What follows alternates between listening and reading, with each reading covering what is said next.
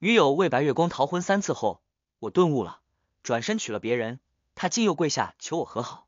柳如烟，你愿意跟我走吗？婚礼现场瞬间陷入了寂静，正在为女友柳如烟戴上戒指的我瞬间愣住了。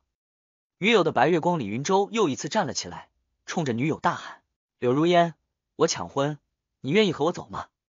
女友立刻从我的手中挣脱了出来，自己提着裙摆款款走到了李云洲面前。柳如烟的眼中含着热泪，满脸激动的看着李云洲，仿佛李云洲才是她今天要嫁的人，而我这个真正的新郎站在聚光灯下，像一个穿着西装的小丑。柳如烟庄重的伸出手放在了李云洲的手上。用所有人都能听到的声音说：“云州，我愿意。”情况很清楚明白，我被柳如烟的白月光抢婚了。可我并不愤怒，甚至还有点理所应当的感觉。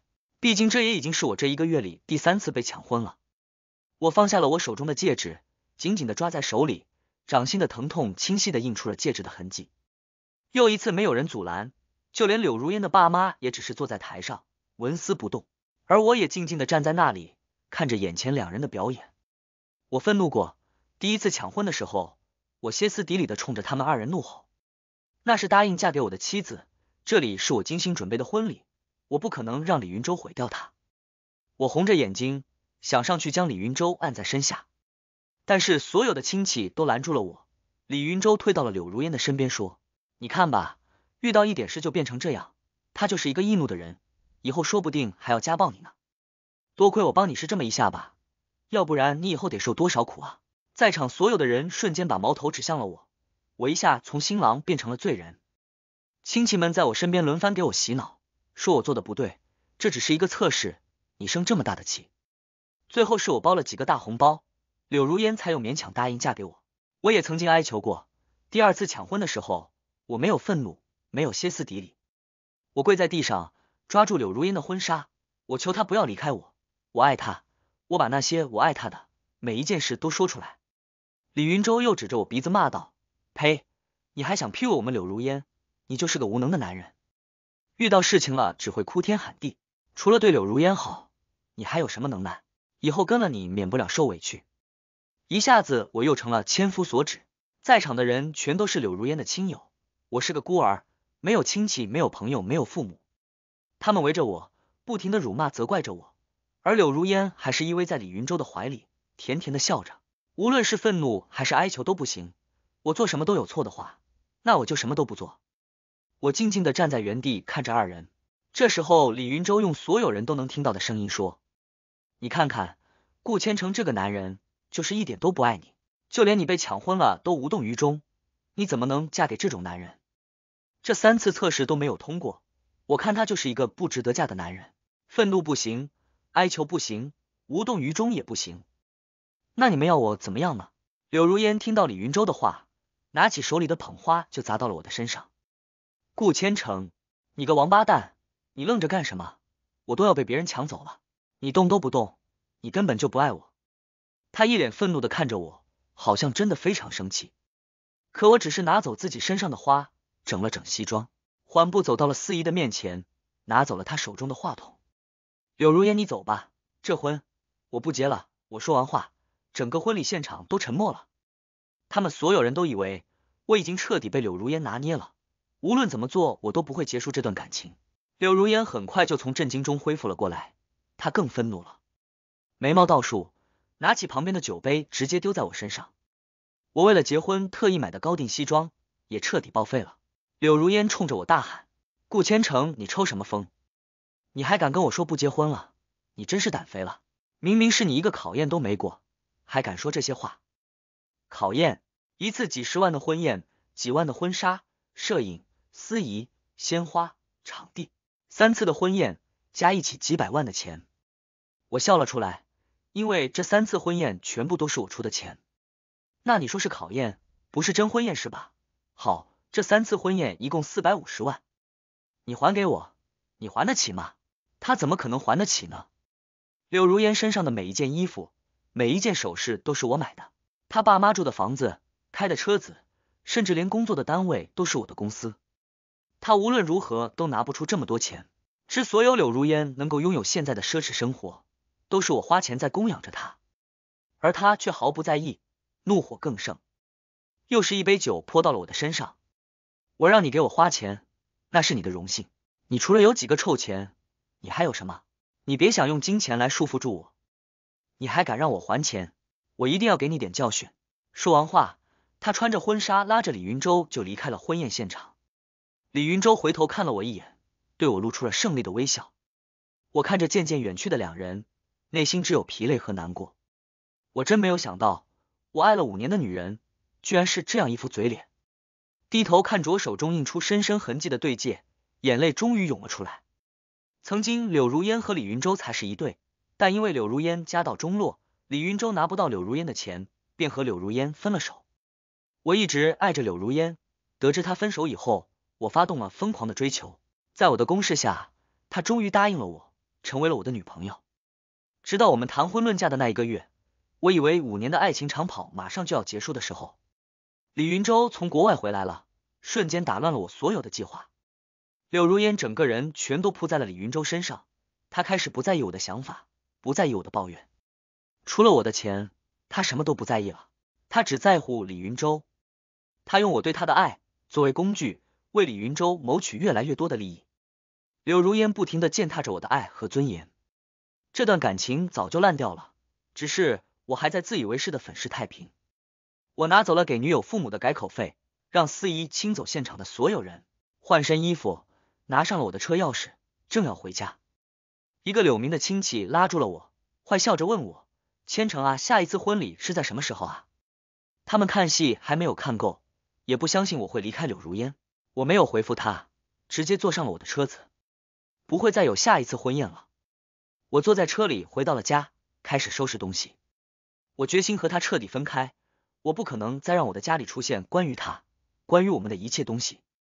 家里面到处都是我们曾经真的爱过彼此的证据。我是一个孤儿，没人养，没人管，整天在街上倒垃圾桶里捡饭吃。直到那天，我捡到了一个半块的肉，我高兴的将它举了起来。这时候，一条恶犬从旁边飞出，叼住了那块肉。饿急眼了的我，不管抢我食物的到底是什么东西，直接和他扭打在了一起。终于，我打了一场胜仗。我拖着满是伤口的身体坐在垃圾桶旁边，看着路上光鲜亮丽的每个人，吃着我手里被撕烂的肉。我看着路上的小朋友们手中拿着糖，牵着父母，我羡慕极了。我也想尝尝糖到底是什么味道的。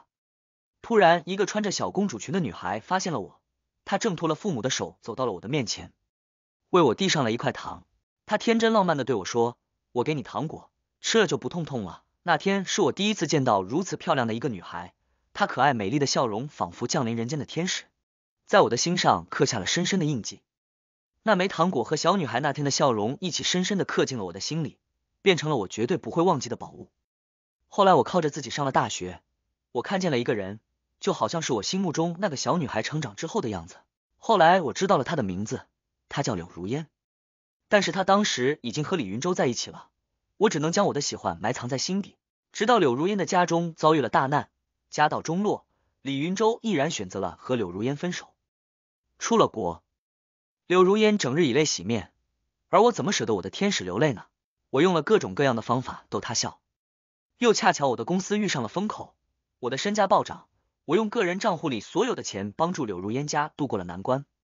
他们一家请我到家中吃饭，当天晚上，柳如烟就被父母送到了我的怀中。我知道他们图我的钱。可是我恰好有着我一生一世花不完的钱，我愿意把我这些钱花给我爱的人，花给我心目中的天使，无论他们有什么要求，我都用尽全力去完成它。我知道柳如烟的心中那时还爱着李云洲，而我天真的以为，只要我用尽全力去爱他，我就一定能代替李云洲在他心目中的位置。我把他当做我心目中的太阳，我不顾一切的亲昵着他，飞蛾扑火，终于在今天将我烧得遍体鳞伤。我看着家中这些能证明我和柳如烟在一起的证明，眼泪再一次从我的眼中蔓延出来。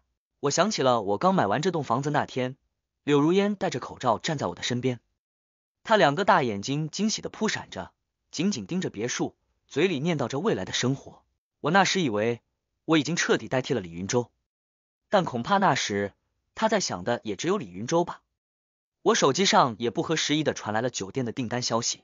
柳如烟没有自己的卡，她所用的每一笔钱都刷的是我的卡，而他买了什么做了什么，只要看消费记录，我就一清二楚。我知道他带着婚纱和李云洲去了酒店，而就在刚刚，我还握着他的手，问他愿不愿意嫁给我。为什么曾经那个可爱的天使腐烂成现在这个样子了？我挡住眼睛，躺在了沙发上，眼泪慢慢涌了出来。三天过去了，我终于收拾好家中的物品。打算将所有的东西都打包，还给柳如烟。我坐在沙发上，看着空荡荡的房间，等着运货车的到来。突然，别墅的大门被打开了，柳如烟靠在李云洲的怀里，两人笑着走进了别墅。柳如烟刚走进屋子里，看到空荡荡的客厅，傻眼了。她从李云洲怀中挣脱出来，径直走向了我的身前，质问我：“顾千城，你到底想要干什么？在婚宴上还没有闹够吗？你现在还敢把家里弄成这个样子？”你是不是不想过了？李云洲也假惺惺的站在旁边说：“小燕不是都跟你说了吗？那三次婚宴不过就是检测而已。对不起，对不起，是我不好，我不该这么为柳如烟着想。”李云洲一张嘴，又把所有的罪责甩到了我身上，我变成了不知好歹的罪人。我看着眼前趾高气扬的两个人，笑着说：“是不是你们离开了现场，我还得去求求你们两个原谅我？是不是我被抢婚了，还要挨你们一顿骂？”再去给你们赔礼道歉。柳如烟没听出来我话中的嘲讽之意，仿佛满意的点了点头。你要是这么求求我，我还可能跟你继续下去。他又上下扫了我一眼，继续说：“可是你现在这样，我绝对不可能再跟你继续下去了。我告诉你，顾千城，我们明天就去离婚。”柳如烟又拿着离婚威胁我。从前每一次她说离婚，我都要为爱妥协，但是这次我不会了。李云洲看着我不为所动，还在一旁帮腔。我就说这个男人嫁不了吧，不仅窝囊易怒，还是大男子主义，怎么为了自己老婆道个歉都不肯？听到这些话，我一下子笑了出来。若柳如烟真是我的妻子，这件事真的是我做错了，无论要求我是怎么道歉，我都可以。我连跟野狗抢饭吃都可以，还有什么其他事我做不出来呢？可是他们两个刚刚从酒店回来，柳如烟脸上还带着刺激过后的酡红，她怎么配说是我的妻子？我连续三次婚礼。被李云洲抢婚，口口声声答应我要嫁给我的女友柳如烟，连续三次答应了他的抢婚，结果还反过来说是我的问题，还想让我去道歉。我真不知道这两个人的脑子究竟是怎么长的。我眼睛死盯着柳如烟说：“你想让我道歉对吗？我问你，你这两天没回家，你去哪了？”柳如烟听到这句话，额头上瞬间冒出了冷汗。他也知道。他之所以能够有现在的潇洒生活，全都是靠着我的钱。离开了我，他什么都不是。他色厉内荏的跟我说：“我就是回娘家了，怎么样？你惹我生气，我不能回娘家吗？也就人家云州心疼我，还过来看看我。你心疼过我吗？事情都变成这样了，还在骗我，还想用爱来绑架我。”我看着他，拿出了我的手机，直直对向柳如烟的脸：“你到底看看，你自己去干什么了？”酒店开房信息都发到我手机上来了，还敢跟我说谎？他直接将我的手机摔在了地上，不管不顾的继续说：“什么酒店？我不知道。我告诉你，顾千城，你现在哄我，我没准还能原谅你。就算你要走，你也得把彩礼和房子留下，那就是给我的青春损失费。青春损失费，从他跟我在一起开始，从来就没有花过他的一分钱。”如今上百万的婚礼就因为李云洲的几句话毁于一旦，居然还想找我要钱。我从包里掏出早就拟好的离婚协议，丢在了柳如烟面前，冷笑出声：“这就是我给你的损失费。”婊子配狗，天长地久。我祝你们幸福。我径直离开了别墅，头也没回，将柳如烟和李云洲对我的骂声全都甩到了耳后。不过柳如烟还是没有签那份离婚协议，他知道他签下来就跟我就彻彻底底的完蛋了。他不想签，我自有办法让他签。我给柳如烟父母打了通电话，让他们把我给的彩礼钱还给我，不然就等着法院的传票吧。柳如烟的父母还以为我还是原来那个任由他们宰割的肥肉，毫不在意我的电话，反而继续威胁我说，如果不再给他们一份彩礼，下次婚宴也不会阻拦李云洲。这两条老狗还想着下次婚礼，我曾经以为能教育出那么可爱的小天使的父母。一定也是两位值得尊敬的长辈，而不是两条贪婪的猎狗。我也没有争吵，我停了他们一家所有的卡，还撤销了他父母在我公司的职位。柳如烟一家瞬间失去了经济来源，他们一家就像是凭借着爱趴伏在我身上的一个寄生虫。当我下定决心的时候，清除自己身上所有的脏污的时候，他们会首当其冲的死亡。很快，没钱花的一家人来到了我公司门前，却被我特意派的保安拦了下来。我坐在办公室里，看着保安室的监控。您好，三位，这边是公司占地，非本公司职员请勿进入。柳如烟仿佛一条被踩到尾巴的猫，瞬间炸毛了，转身对着保安怒吼道：“你知道我是谁吗？我可是你们公司董事长的妻子。”你不过是一条看门狗，你还敢拦住我？我命令你赶紧给我开门，要不然我一会就给我老公打电话开除你。保安好像没有听见一样，依然拿着手里的电棍看着眼前的三人。他爸妈嘴更毒，好像把自己当成了这里的主人。喂，怎么没见过你这个保安？你还敢拦住我们？以前我们都在这里上班，连董事长都得供着我们，我们可是他岳父岳母。赶紧让我们进去，我们还给你留个生路。他们俨然把自己当成了皇帝，所有人在他们面前都得俯首称臣。这三个人似乎忘记了，我才是这里的董事长，他们不过是趴在我身上的寄生虫。我看着他们丑恶的嘴脸，又想起了那个穿着小公主裙的天使。这样的父母怎么可能养育出那么可爱的孩子呢？就算柳如烟是曾经那个给我一颗糖的小女孩，可是如今的她也不再善良了。金钱和权力让他们变成了如今这个丑恶的模样。他们不配成为我的家人，我彻底死心了。我没有继续让保安难做，而是直接下了楼，走到了大门前。三人看到我，眼睛瞬间亮了起来。柳如烟的爸妈变成了端庄又优雅的高知分子，柳如烟也收起了那副不可一世的嘴脸，她眨着眼睛看着我，楚楚可怜。要是平常，我此刻一定紧紧将她抱在怀里，问她到底发生什么事了。可是现在，我只当做没有看见。这里这么乱，怎么回事？你们三个来这里干什么？柳如烟抢先说道：“哥哥，你们的保安欺负我，他不让我们进去，我们只是想给你送饭而已。千城哥哥，你是不是没吃饭啊？这是我特意请教妈妈给你煲的鸡汤。”他脸上一副可爱邀功的模样，举起来想让我尝尝。我知道这是他道歉的手段。我打开了鸡汤一看，里边的各种肉都被人咬了一口，里边还飘着一张纸条，上面写着：“送给云州哥哥，恐怕是送给李云州。”他特意全都咬了一口再给我的，就是为了恶心我。我看了一眼，差点没吐出来，转手把鸡汤摔在了地上。柳如烟和他父母不可思议的看着我，他们仍然觉得我还爱着柳如烟，我不可能做出这种事情。柳如烟有些压制不住了，但是为了我的钱，他必须要压制。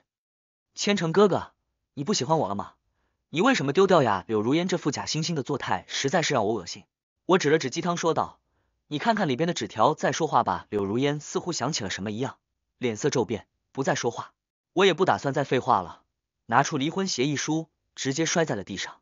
我给你们两个选择，要不然趴在地上把离婚协议书签了，彩礼给你们我不要了；要不然我起诉你们，把欠我所有的钱全部还给我。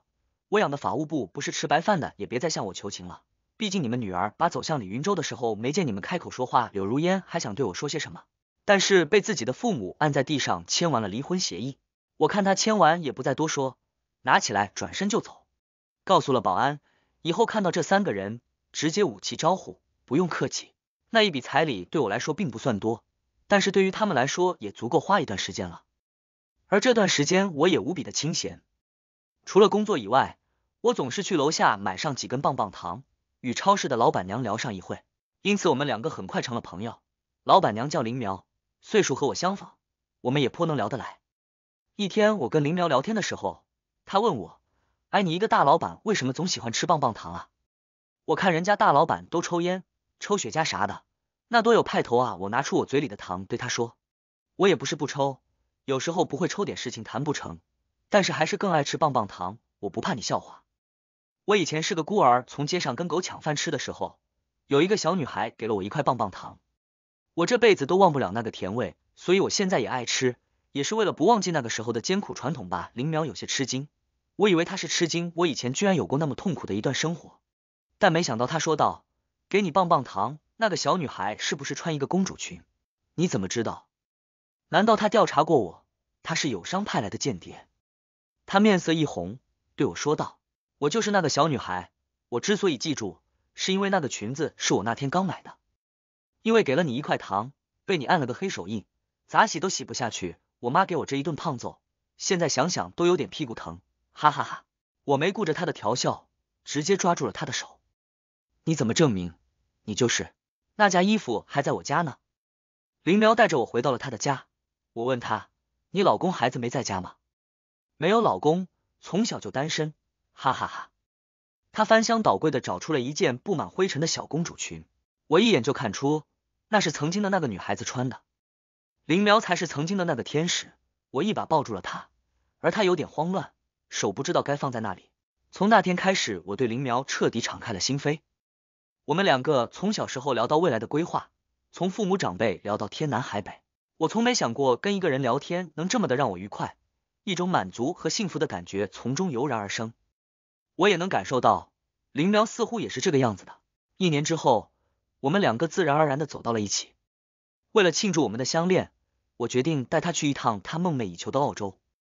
我们刚走到了飞机场，却遇见了柳如烟和李云洲。柳如烟的脸变得有些暗淡无光，眼神中也夹杂着疲劳，而李云洲似乎有些不太正常的兴奋，他有些兴奋的过度了。柳如烟看见了我，直接走到了我身边，嘲笑我说：“又我不在你身边，怎么找了这么一个小土妞啊？”我绝对不允许他羞辱林苗，我回怼道。这是我的女朋友，你最好说话放尊重点。你这个婚内出轨的贱狗！他听见了我的辱骂，一下子就站了起来，想要打我，却被李云洲给拉住了。李云洲对柳如烟说：“你还当自己是他老婆啊？跟他这么闹，你又不是不知道他公司多大。要是咱们俩去面试的地方，跟他有业务合作，这不完了？宝贝，你先别生气，等我们出人头地了，你再回来羞辱他不迟。”柳如烟听完，悻悻的坐下了，只是仇恨的看着我，坐在了头等舱的等候区。林淼也知道我以前的感情，他也并没有放在心上，我也没有再去管柳如烟。到了澳洲之后，一个与我有业务往来的公司听说我到了澳洲旅行，特意让我去参观一下，顺便尽一下东道主之意，盛情难却。林苗也同意去看看。可是我们刚进到公司里，就看到了两个讨厌的人，柳如烟和李云洲。两人正在面试，似乎没有注意到我们两个。正好一旁的公司总裁走了过来，用英语问道：“顾先生似乎对这二人十分关注。”我摇摇头说：“并没有，只是有些好奇。”于是就继续参观了下去。等我们参观完公司，正要出来的时候，遇到了柳如烟和李云洲。两人似乎是面试结果不错，疲惫的眼神里透露出一丝欣喜。柳如烟趾高气昂的走到我身前，对我说：“顾千成。”我现在马上就要是这个公司的员工了，等我挣到大钱回去，一定给你好看。他还是以前那样，一副小姐脾气。虽然我并不知道来到澳洲打工究竟是什么值得骄傲的事，但是还是能看出他在炫耀。他从怀中掏出一张请柬，递给了林苗。现在工作也稳定了，房子也找完了，一周后我和李云洲的婚礼，你们可一定要来参加。他挑衅的看了林苗一眼，我以为林苗会直接拒绝。没想到林苗径直接了过来，对柳如烟说道：“好啊，那我们提前祝你们百年好合，一周后我们一定会去的。”柳如烟似乎张嘴想说些什么，但是看着林苗一副真心祝福的样子，什么也说不出来，只能局促的点了点头。李云洲这个时候有点不开心了，什么也没有说，径直把柳如烟拉走了。我回头问林苗：“为什么你要收下来呢？”林苗神秘一笑，只是告诉我说：“你放心吧。”有好戏看。一周之后，我和林苗穿着便装，带着保镖去了现场。这些都是林苗要求的。我本来还打算盛装出席的。我问他原因，他也不愿意告诉我。那我只能由着他。婚礼现场在一个公园的草坪，我猜想中的花篮、拱门什么都没有，甚至旁边就是堆高的垃圾，那种臭气让我们俩紧紧皱着眉头。一块小小的草地，上边摆了一张长桌子，上边摆满了面包、香肠这种廉价食品。这还不如柳如烟以前一次野餐来的丰盛。没有座位，宾客倒是来了不少，各种各样的人都有，恐怕都是他们为了凑人数特意招来的。这些宾客为了喜庆，交了份子钱，走了进来，却发现什么都没有，新郎不见了踪影，只剩下了柳如烟一个人招待着宾客。他身上穿着曾经我给他买的礼服，可是，在以前穿过一次的礼服，他绝对不会再穿了。没有婚纱，没有花篮，没有亲人。甚至没有新郎，只有一个白色长桌和简陋的食物，连椅子都没有。整个婚礼看起来甚至还不如小孩子的过家家。柳如烟眼神空洞的看着眼前的一切，我知道她想要的婚礼不是这个样子的，但是没有办法，这是她选择了李云洲的代价。我叫保安买了几把椅子，我们这些人才能坐了下来。很快，牧师走上了台前，所有人呼唤着新郎新娘入场。新郎从一开始所有人就没有见过，而大家都看见的新娘，此时也消失不见。林苗似乎是发现了什么。指着不远处的地方大呼起来：“快去救人！我们身后的保镖只剩下了两个，留在我们的身边保护安全。”很快，柳如烟衣衫残破的就被带到了我的面前，同时抓过来的还有两个彪形大汉。柳如烟痛哭流涕的对我们说：“李云洲这个混蛋，他拿走了我所有的钱，还要把我卖给人贩子。”他跪在了我的脚边，抓着我的腿，哭喊道：“千城，我知道错了，求求你了，我知道错了。”你还爱我对不对？我知道你还爱我，我求求你了，我们和好吧。我曾经也这么哀求过他不要离开我，不要把我一个人丢在婚礼的现场。如今柳如烟也被独自一人丢在了婚礼的现场，哀求着求我和他复合。但是我的爱不是那么廉价的东西，会因为他的几句话就死灰复燃。我从怀中掏出了一张请柬，塞到了柳如烟的手里。这是我和林苗的婚礼请柬。希望到时候你会来，这是林苗早就准备好的东西，里边还塞着一张回国的机票。柳如烟怔怔的看着手中鲜红的请柬，松开了我的腿，趴在地上痛哭了起来。对不起，对不起，我错了，我不想再听他说什么了。将他们交给警察之后，转身离开了这里。很快，我和林苗回了国，回程的飞机上，林苗将一切都告诉了我。他第一次在机场看着李云洲的时候，就感觉有些不对劲。第二次见到他就更确定了，林苗不知道会发生什么事，但是他知道柳如烟不会有什么好下场，所以特地为他准备了机票。我看着他在我眼前一脸邀功的说自己又将一个女孩救出了地狱，我也开心的笑了。林苗就是这样善良。很快我和林苗就结婚了，婚礼上没有出来抢婚的白月光，也没有嘲笑我的亲戚，只有真诚的祝福和幸福的我们。而婚礼上我没有发现柳如烟的身影。他似乎没赶来我的婚礼，我和柳如烟也就彻底断开了联系，再也没有他的消息。直到那天，我领着林苗上街买衣服，看到了一个熟悉的身影。李云洲正牵着一个陌生的女孩子在街上走着，两人亲密的模样，好像是一对情侣。而小巷的阴影处还潜藏着一个人影。两人刚走到小巷处，那个人影直接飞扑出来，将李云洲扑倒在地。那个人影正是柳如烟。他浑身脏污，披头散发，精神状态也有些不正常，拿着匕首抵着李云洲的脖子，疯狂的大喊：“都是你，都是你害的！我家的钱都被你卷跑了，我爸妈被你逼得自杀，把我骗到澳洲去卖了。现在你转头就跟别的女人在一起，李云洲，我杀了你！”一刀捅进了李云洲的脖子上，随后对着李云洲的身体开始疯狂的攻击。等到警察来的时候。李云洲的尸体已经被柳如烟砍成了一滩烂泥。柳如烟杀死了李云洲后，似乎一切的纠葛都落下来了帷幕。此刻的他变得疯疯癫癫，被警察送去了精神病院。在那个阴沉的午后，我和林苗并肩走进了那座庄严而沉重的法庭，空气中弥漫着一种难以言喻的压抑，每一步都踏在了心上，沉重的让人喘不过气。今天是柳如烟案件宣判的日子，我和林苗出席了旁听。法庭内。灯光昏黄而冷峻，照得每个人的脸庞都显得异常苍白。柳如烟被两名法警押解着进入，她的眼神空洞而迷离，仿佛灵魂早已游离于这个世界之外。她的长发散乱，衣衫不整，再不见昔日那个跋扈张扬的模样。她嘴里来来回回絮叨的还是那些话。我好后悔，我选错了，再给我一次机会吧。我真的知道错了，都是因为李云洲，是他害了我，是他害了我。他死了是罪有应得，哈哈哈哈哈哈哈哈哈！